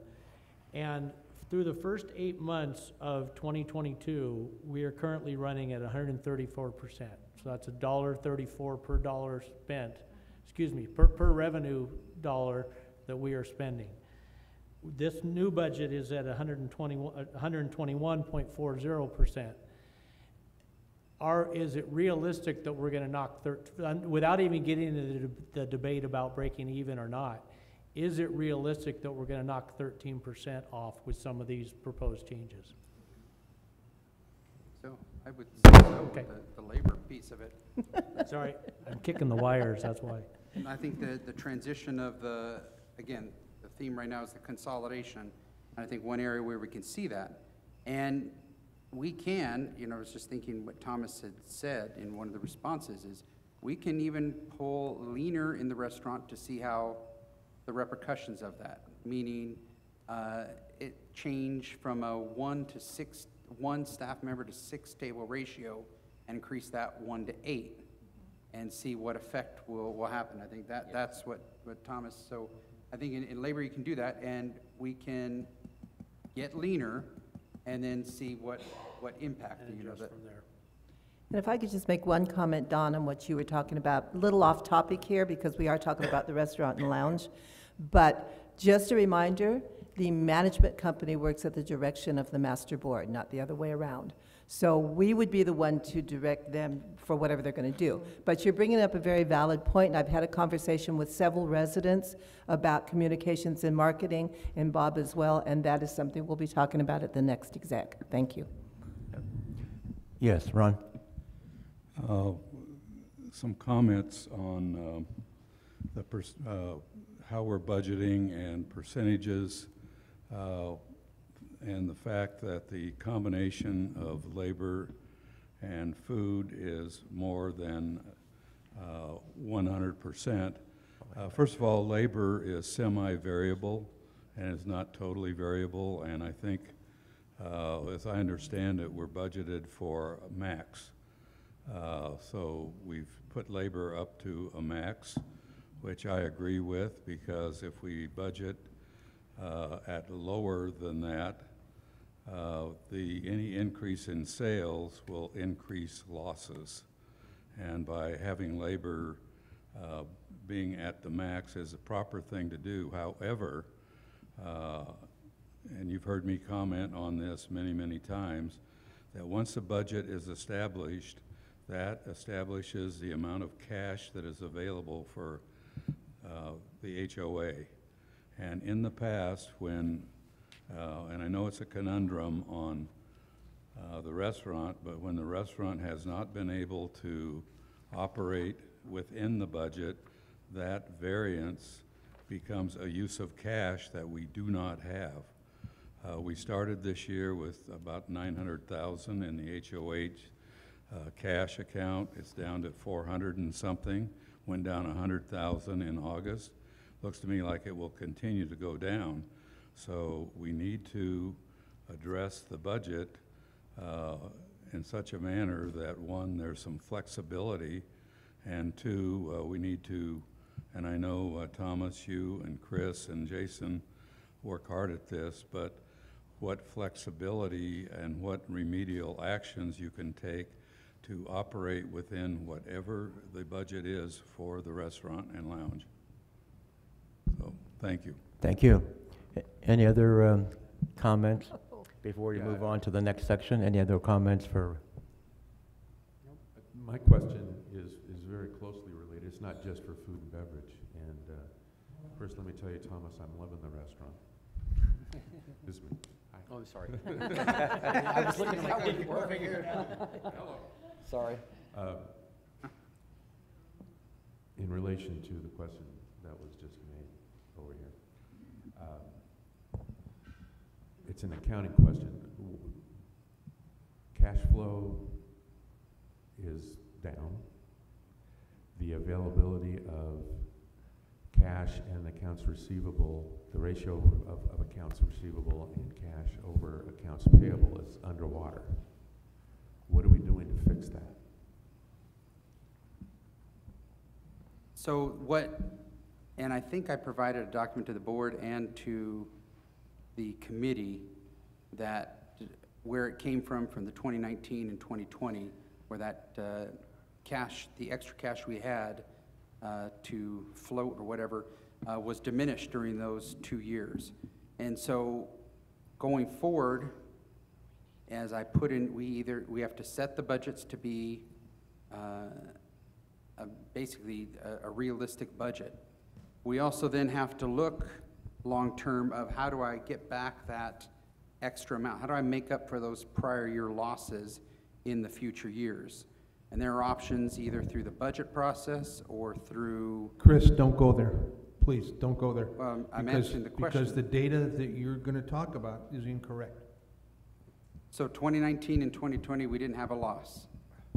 You had a loss, but the loss, the cash loss was in, starting in May of 2020, when the board directed First Service to pay down the debt that operations owed to reserves. You paid down 1.2 million. Actually, if I from go May- back, if I go Chris, let back me- to the Chris, presentation that Linda did in November, that- when she was That treasurer. presentation is erroneous. that it- That it's not- presentation is erroneous. I've got the data right in front of me now if you need it. From May of 2020 until October of 2021, First Service paid down what operations owed to reserves. If you go back and look at the, op- the uh, October balance sheet, you'll see that there was a zero due to reserves in CIP. It was all a result of the monthly decrease every month from May of 2020 to October of 2021. That's where the cash went. I respectfully disagree, because you go back to 2019 and you'll see a loss of close to 900,000 directly attributable.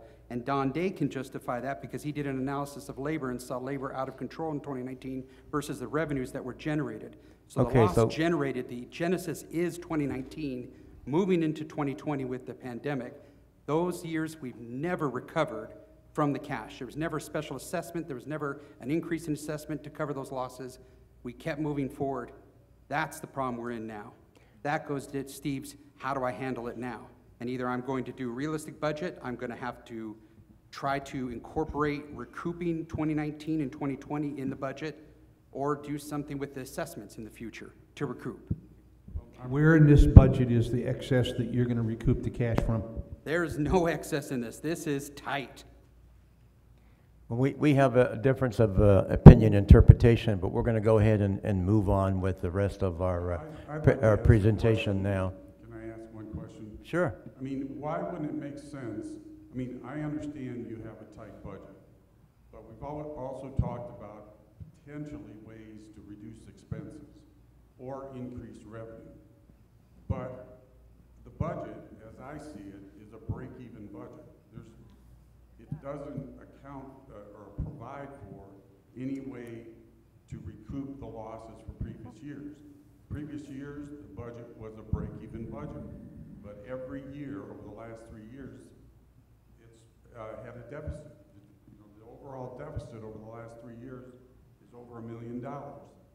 So it, it seems to me there has to be something in the budget to rebuild the operating account.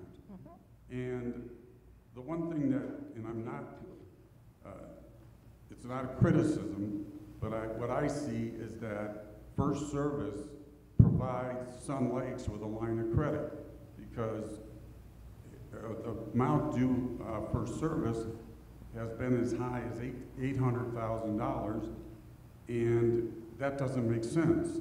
I mean, it's, you call it accrued payroll on the balance sheet, but if it's eight hundred thousand dollars, it's, it's at least two months payroll. And I, I understand it's been worked down, but it's still five hundred thousand dollars. And as Steve said, and this is about as simple as you can make it, when you look at the bank account and accounts receivable and compare that with AP, we're upside down. So, I, I, let me, I just want to finish. Go, Uh, go. I believe there has to be something in the budget that is a bill that causes um, a replenishment of the, of the operating account. So I would call it um, recovery of the deficit or uh, recovery of working capital, but we're on the edge, at least, and, and as an organization, I, I think that's pretty scary. Thank you. Any, any other comments? I just want to support what he's saying. I appreciate this board's desire to have the lowest HOA fee increase possible.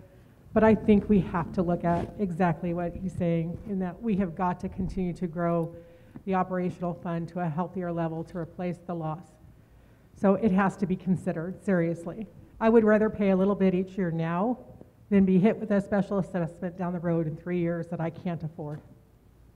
Thank you, Sharon. I know we've had increases the last couple of years that have been higher, but I agree with you. We don't want to cut off our nose to spite our face. We want to make sure that we have a realistic um, increase, and there will be an increase, and I know we were, we're trying to keep it low, and we still are, but we don't want to cut our throats when we do that. Thank you. Any other comments? Yes, to do what you're proposing is illegal. Davis Stirling says you build a budget that will have exactly the same amount of expenses as what your revenue is. You cannot build into your budget uh, a slush fund, is basically what you're saying. Well, I'm, I'm, I'm disagreeing with you, I guess. I mean, well, uh, let's say the organization had a loan. How would it pay back the loans? Because that's what it has. It has a loan from First Service. So if you have a loan, you have to put into your budget, pay down the principal. Absolutely. But uh, I guess my, the, rather than increase the age HOA, which I know nobody wants to do, and I agree with that, I think the charge is to reduce expenses. But we, but the, the- the cash account and the due to first service needs to go down. Thank you. Any other comments? Chris, did you, or Chris, I'm sorry, I know you and I had discussed this. On this financial, I know Mitch, much of this uh, that we look at and that is handed out to the audience and available online, there are contractual obligations. That, there is no negotiation, there is no changing any of it. So did you ever go about kind of marking so people understand, well, that does seem high. We're contractually obligated to that.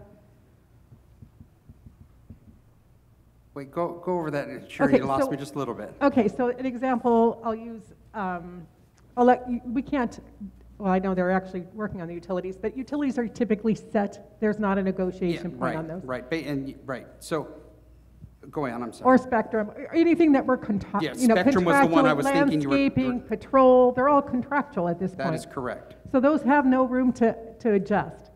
So in, in people, when they're evaluating the budget, knowing that these are set items that I cannot adjust would be helpful possibly, and then better, better understanding where can adjustments be made, where are they set? That, that's all.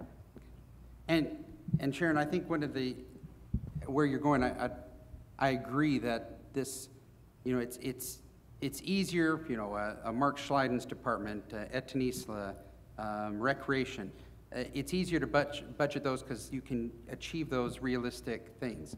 Um, the restaurant, it's variable in the budget because you raise prices, you know the first three months your revenues are going to go down. Even though you've raised prices, the patronage will go down. That historically has happened here.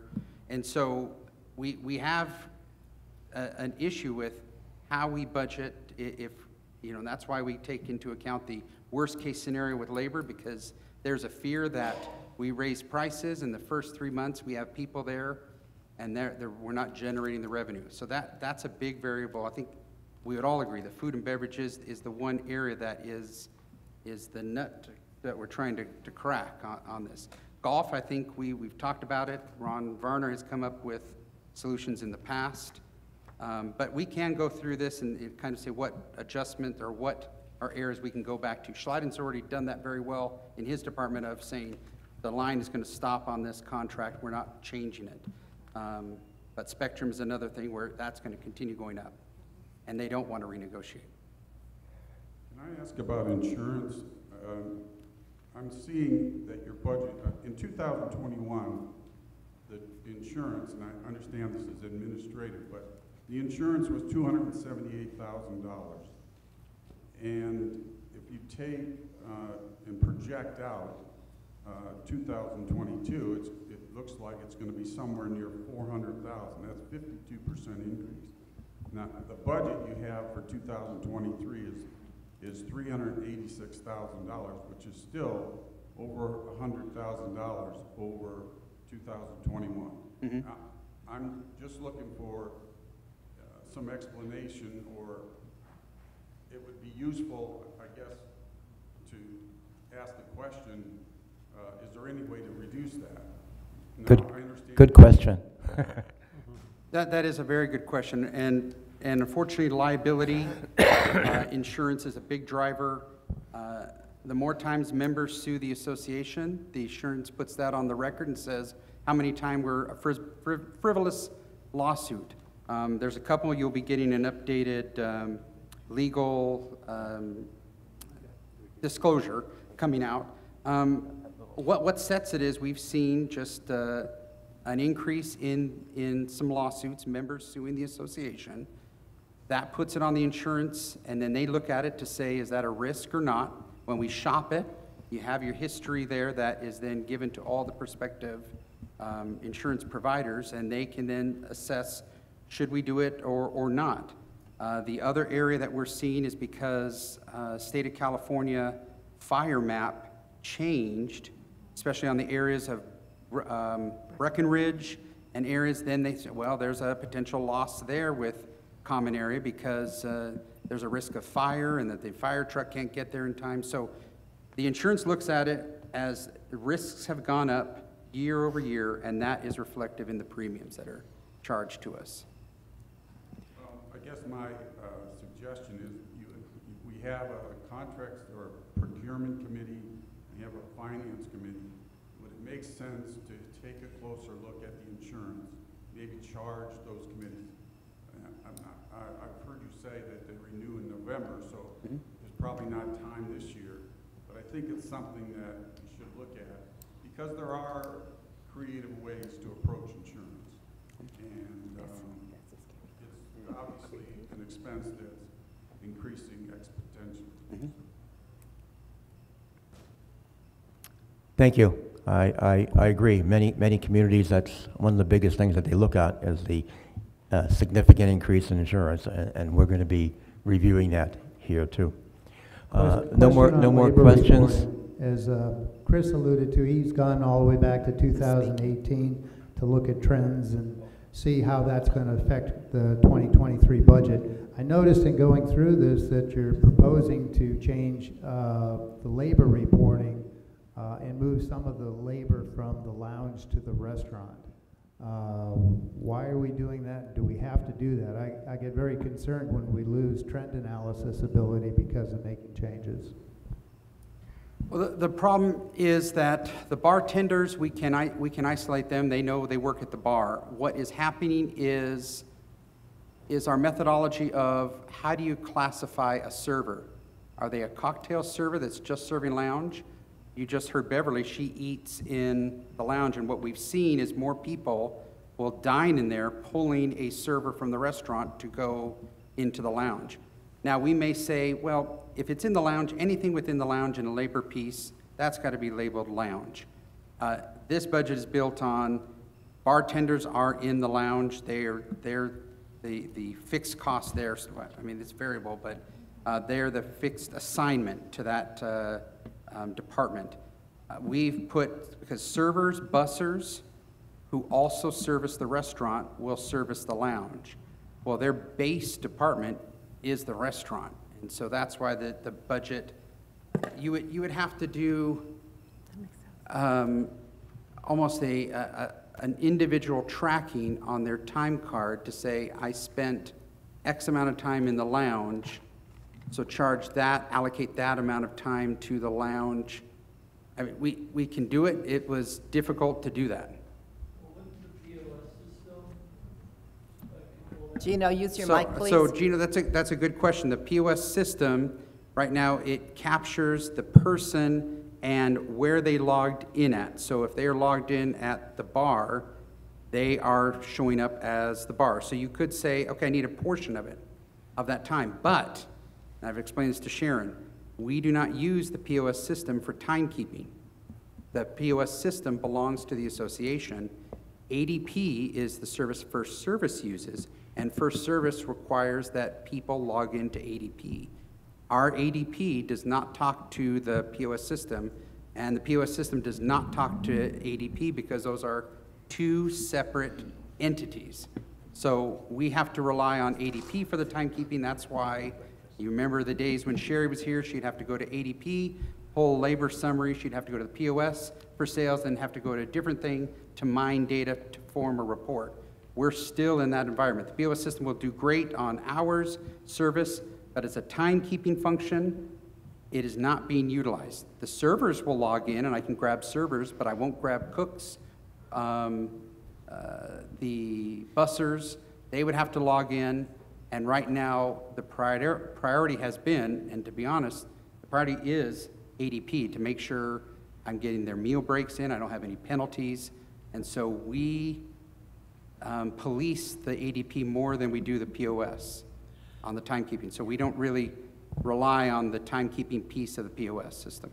So if I understand you correctly, Chris, we're not cutting service in the lounge, we're just assigning all the servers to one location of the restaurant. Correct. Wherever they serve. Right. So we're not cutting the service. Right, the service Okay. isn't cut, It- it's just their home department is where we look at, and, and they're based out of the restaurant.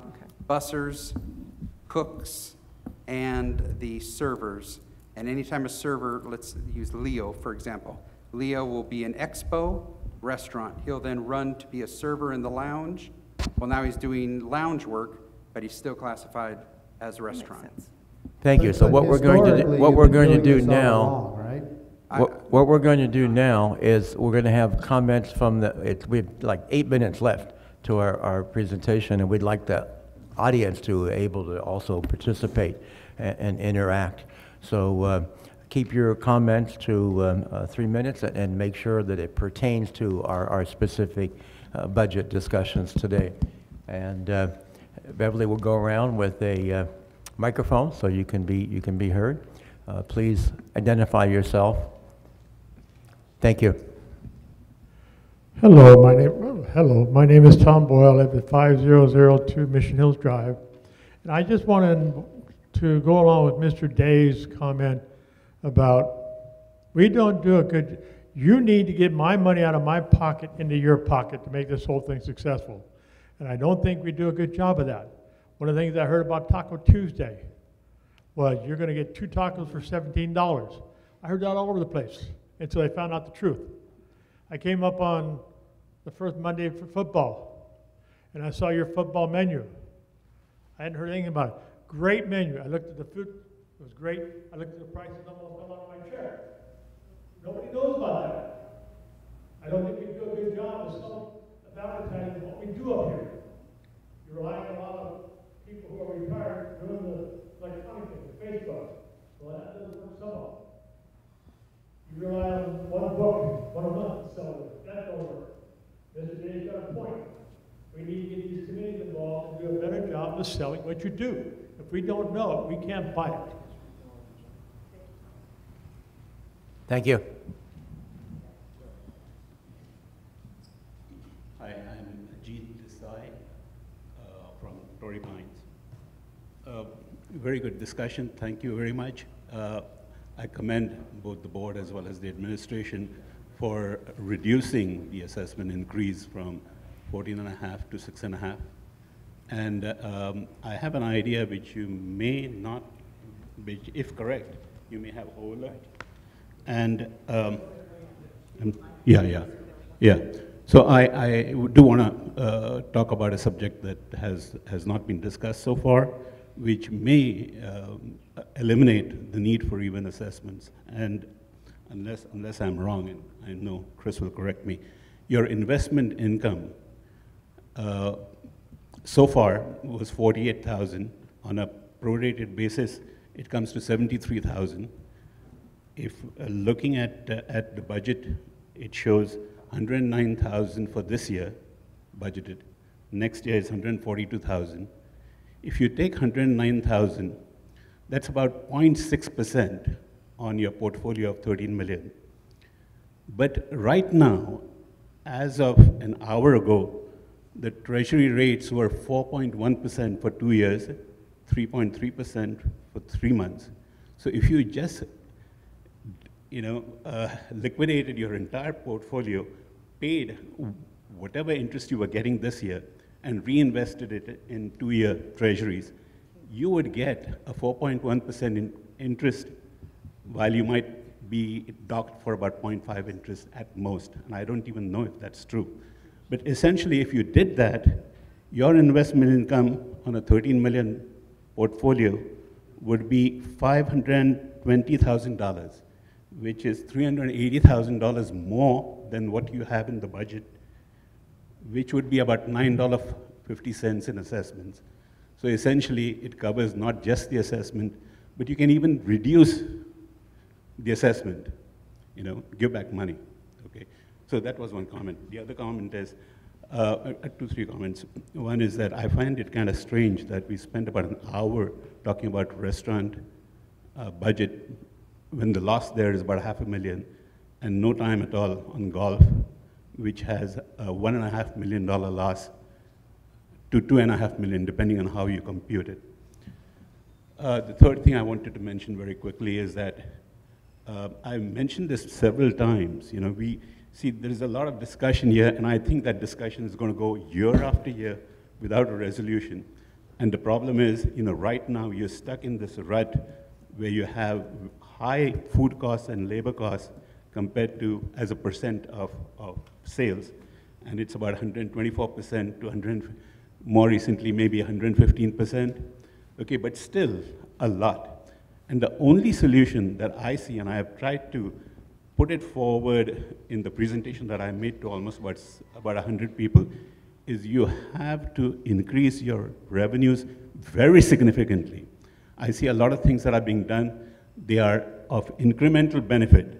So in fact, you have sales increases going from one and a half to 1.8 million. What you really need is an overarching strategy, and I mentioned this to Bob and Laurie many times, you need a strategy which will get you to two and a half million in rev revenue, almost doubling it, maybe even three million.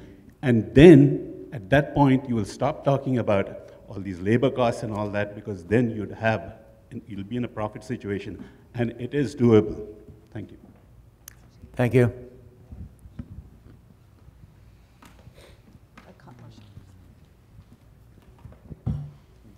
Hi, I'm Marcia Midget. I just have one, well, actually, I have a couple things, but the first thing is with Artistic doing the street cleaning during the winter, which is fine, um, come summertime, when they're back to their full schedule, what's going to happen to the streets? So why not have um, street sweeping maybe twice a month instead of every week? Go back to the same same, maybe a different company or something that will use the water. But I walk every day. The streets look terrible. And there's a lot of debris on sidewalks.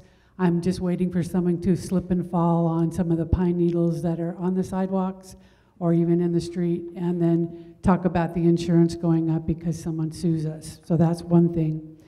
Um, the other thing is the community patrol. We have um, in the past, we reduced uh, patrols, but in the middle of the year, we went back up with another patrol. And so I'm really concerned about the lack of or re reduction in services for the community. And then um, repair and replacement. I know we have plans for uh, money going in there. How much have we deferred this year? And what's that's going to cost us in the future to go and pay a higher price for things that we've deferred this year? So those are my three comments.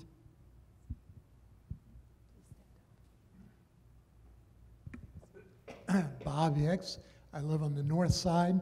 Um, I don't want to bring up a whole bunch of issues that have been brought up here, but I just wanted to make a kind of an overarching comment that there are tons of good ideas that have been expressed here by people that have a lot of skill and insight. But what I have never seen since I've moved to Sun Lakes is any effort or emphasis placed on something that Ajit referred to, but in the context of a single item, the overarching strategy for our community. Where is it? Problems cannot be solved piecemeal. Problems cannot be solved effectively by trying this and then trying that in the absence of them being part and parcel of an overarching strategic plan. So please consider that. Thank you.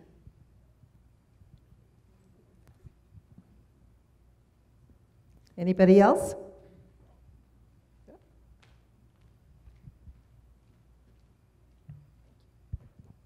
Uh, Yes, good morning. I'm uh, Gail Martin in District 12. I want to thank the board and the committee for all their hard work and effort and time they put into this. Uh, We do have a very nice uh, set of handouts, uh, which we greatly appreciate. Uh, I was wondering what the time scale is on uh, the paper that refers to the things that are uh, regarding reserves.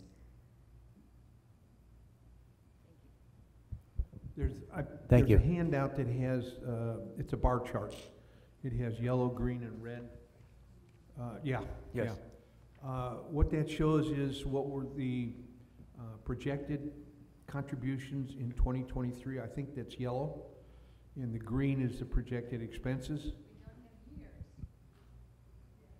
And the red is. It doesn't show the years. The, Yeah, I- okay. I- I'm trying to understand what each Well, if I had group it, of, because we had so many comments, we didn't have time to go over it today. So what that does is for, for starting in twenty twenty-three through twenty twenty-nine, it shows what we're gonna have in terms of our shortfall on contributions. To summarize, we're gonna, we're gonna contribute, uh, seventeen million dollars.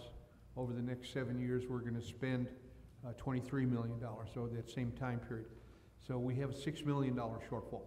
That's all that chart is gonna, is gonna show you. Okay, thank you. Any other comments? We do have one more. I just want to re-endorse what this lovely lady has said. I also want to compliment you on this very difficult process that you go through every year to set how much money we're going to pay every month. And I think what we need to do is we need to educate our village people just how much work you guys do. The more education I know about what you do, the less I'll complain. But go back to what Don was saying. In order for you to exist, you gotta get this greenback out of my pocket into your coffers. And if I don't know what you're selling, I'm not gonna buy it. Thank you. Any, any comments from the board before we, uh, uh, we adjourn? I just want to say one thing. There were a couple comments from, from the audience which were fantastic. And you commented that, that we're working on our budget. No, this is everybody's budget. This is everyone's budget. This is the community, those at home, everybody. This is the entire budget for everybody, not just the board, not just the FAC, not just management. Thank you. Thank you. So in, in conclusion, the, um, just be aware of the fact that draft number four came in with a projected increase of six dollars and sixty-seven cents. Uh, We're still working in the range between what our beginning goal was between four and fourteen. We have not set a specific number. We're still working on that. You know, there, there's, we do want to, uh, commit some more to the, uh, reserve and replacement. Uh, we're also considering doing a, uh, an increase for staff wages. So we're, you know, we're, we're looking to, uh, uh, make this, you know, the fairest, uh, and, and the, the best budget that will not significantly impact our people that have been here for a long time. We don't want a, a large double, double-digit increase again. And we've been going through, you know, many, many contracts, reviewing everything we can, cutting where we can. And, uh, you know, there is a major problem with, uh, you know, staffing and, and staff cost. We realize that. And uh, we're going to be looking at that before we come up with the number. But the number will be uh, uh, probably in the range from uh, a total of uh, uh, 4 to 14, you know, probably closer to 11 if you're trying to figure out, fr- fr- yeah, but nine according to Dan, but between nine, nine to 11. If you're trying to figure out your budget for next year, that's, the board still is working on that hard number but, but at least you know, you know, the direction that, that we're headed. And thank everybody for, for coming out today, and I appreciate your input. We're adjourned.